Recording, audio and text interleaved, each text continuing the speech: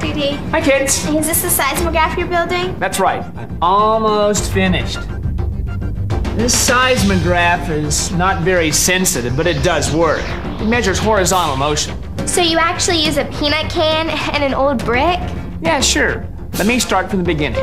The seismograph measures the shaking of the earth. To measure the shaking, we take advantage of Newton's first law.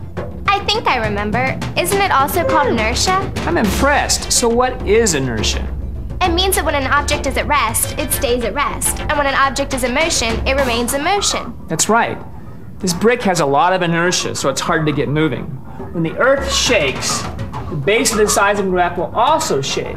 But the brick, which is not tied to the base, will not. The pen over there records the vibration. Can we try it? Sure, let's make an earthquake by shaking the table. It really worked. Look at the waves. Did we do that? You sure did. There's a different kind of seismograph. It measures vertical motion. It looks really different.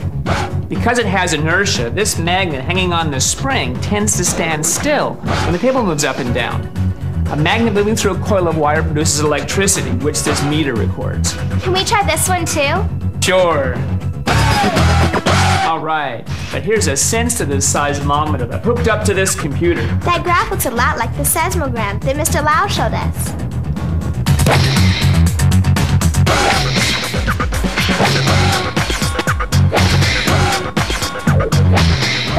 Hit the table, the larger the signals. This is really cool. And look at how it vibrates, up and down. Because it produces an electric signal, it is easy to amplify. Even a small vibration can be shown on the computer.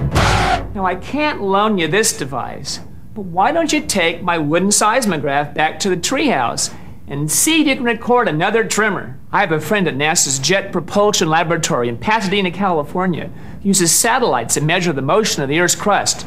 You might want to talk in your quest to become earthquake experts.